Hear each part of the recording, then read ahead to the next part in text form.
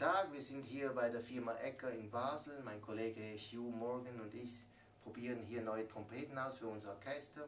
Wir möchten die klassische und frühe romantische Literatur auf Originalinstrumenten spielen und das ist so ein Originalinstrument aus dieser Zeit.